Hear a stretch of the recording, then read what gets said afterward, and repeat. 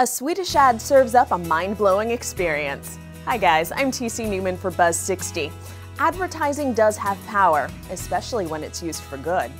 Last year, people in Sweden were blown away by a digital advertisement for shampoo that showed a woman's hair being blown around when the subway would arrive in the station.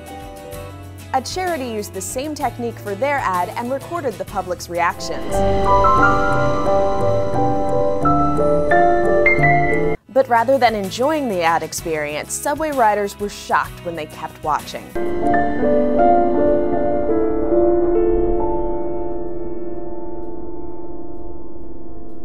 The sobering fact appears on the screen that every day a child is diagnosed with cancer and reveals that the beautiful model is a 14 year old cancer survivor. Over 300 million people take the Stockholm Metro each year, so this ad for the Swedish Childhood Cancer Foundation is well placed to raise awareness. The hair-raising ad is startling to watch, but hopefully gets commuters to donate to the cause. Buzz 60, now you know, pass it on.